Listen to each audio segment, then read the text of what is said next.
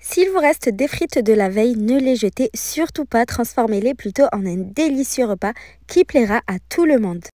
Alors moi j'ai préparé mes frites maison spécialement pour euh, cette recette mais vous pouvez très bien le faire avec des restes de frites. C'est le but justement euh, de la recette. Donc j'ai eu besoin de 5 pommes de terre de taille moyenne que j'ai taillées en frites.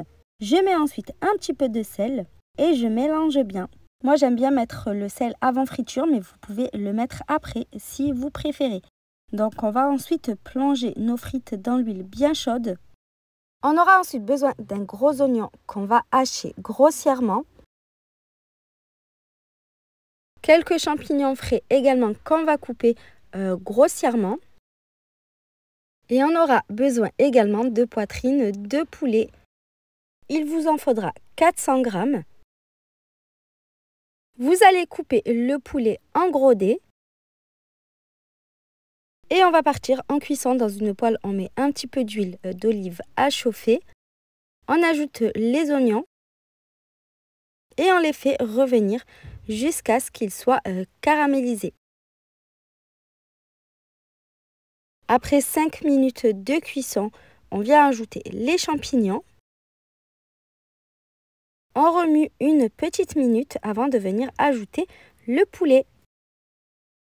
C'est une recette super simple et rapide à préparer, surtout si vous avez déjà les frites de prête euh, de côté. Vous allez voir, ça va aller très très vite. On vient assaisonner avec du sel, du poivre et un petit peu de gingembre moulu. On remue bien le tout et on laisse cuire jusqu'à ce que le poulet soit prêt. On vient ensuite ajouter 200 ml euh, de crème liquide et une grosse poignée de mozzarella râpée. On remue jusqu'à ce que ça épaississe et que la sauce réduise un petit peu.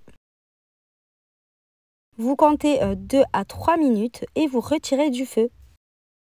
Vous allez prendre un moule à gratin dans lequel vous allez commencer par euh, déposer toutes vos frites maison vous venez ensuite verser la délicieuse farce à la sauce fromagère et vous l'étalez uniformément pour que ça recouvre toute la surface. Et comme si ce n'était pas assez gras comme ça, on va venir recouvrir la surface de fromage râpé. De toute façon, il n'y a jamais assez euh, de fromage. On va ensuite faire gratiner au four pendant 15 à 20 minutes.